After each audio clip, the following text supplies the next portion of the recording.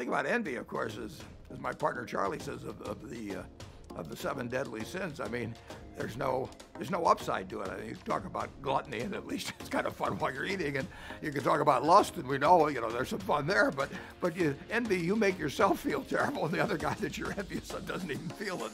So envy is a, envy's a big. I, I I ran a firm on Wall Street for a short period of time, and.